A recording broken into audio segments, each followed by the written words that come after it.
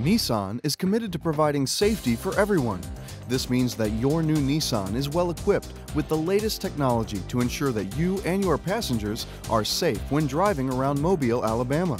Here are the top three safety features that are available with a new Nissan. A safety feature that a new Nissan offers is a tire pressure monitoring system. This monitors the pressure in all four tires and alerts the driver when the air pressure becomes significantly low. While traditional braking systems will lock tires in slippery conditions, causing dangerous skids, anti-lock braking technology in a new Nissan will stop them from locking up, thus preventing the vehicle from spinning out of control. And finally, stability control. This feature detects sideways motion and will activate once a wheel begins to slide in difficult roadways. When it comes to safety, Nissan has what it takes to keep you and your family safe. So stop by Chris Myers Nissan today for a test drive.